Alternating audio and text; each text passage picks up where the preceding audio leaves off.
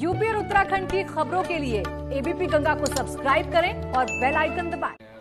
में एक नाबालिग दलित युवती के साथ रेप की बात आई थी। आज वो उसकी पीएम रिपोर्ट आ गई और पीएम रिपोर्ट में भी गैंग रेप के बाद मर्डर की पुष्टि है खुद एसपी ने पुष्टि करी है। साथ ही साथ वो जो वहाँ के डॉक्टर हैं जिन्होंने पीएम रिपोर्ट की, उन्होंने कहा कि इस तरीके का व्यवस्थित केस उन्होंने पहली बार देखा है।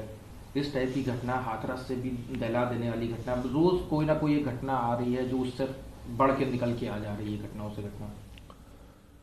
उत्तर प्रदेश में जिस तरह से बाराबंकी घटना को लेकर कहा गया, कितनी बीभत्स घटना पहली बार देखी गई है। निश्चित रूप से उत्तर प्रदेश के जो हालात हो गए हैं इतनी भयावह, खतरनाक घटनाएँ उत्तर प्रदेश में घटित हो रही, शायद देश के किसी हिस्से में घटित नहीं हो रही हैं।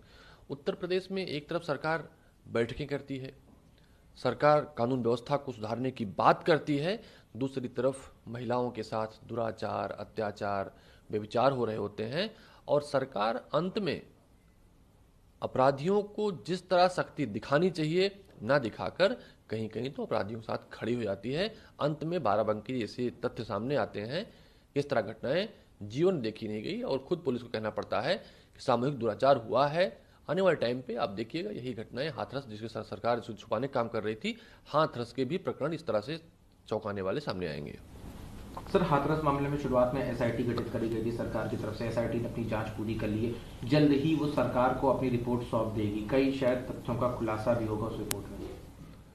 हाथरस की घटना में एसआईटी सीबीआई सरकार उत्तर प्रदेश की पुलिस कहीं न कहीं सवालों के घेरे में है, परिवार ने खुद आरोप लगाए हैं और इस घटना के लिए जो उत्तर प्रदेश और पीड़ित परिवार को राहत देने वाली बात है कि इसकी कोर्ट मॉनिटरिंग कर रहा है।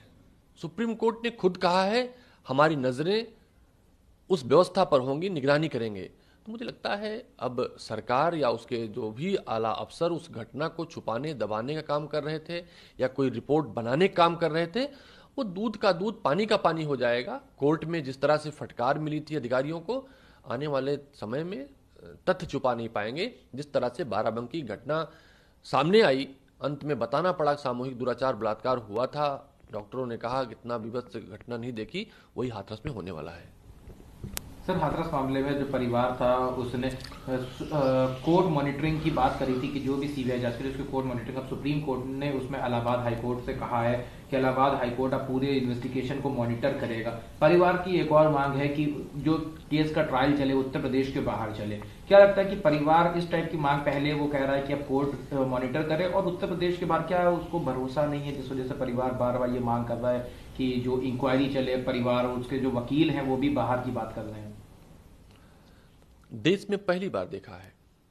कोई पीड़ित उत्तर प्रदेश में पुलिस से, सरकार से भयभीत होकर अपने केस को बाहर चलाने की बात इसलिए करता है कि उसे न्याय की उम्मीद नहीं है। लेकिन ये जो तथ्य सामने आ रहे हैं, कोर्ट निगरानी कर रहा है, इसलिए उम्मीद है इसमें पुलिस की, सरकार की, अधिकारियों की नहीं चलेगी। जो तथ्य होंगे, जो प्रमाण होंगे, वो सामने आएँगे, दोषी सजा पाएँगे, क्योंकि सुप्रीम कोर्ट इसकी मॉनिटरिंग करेगा।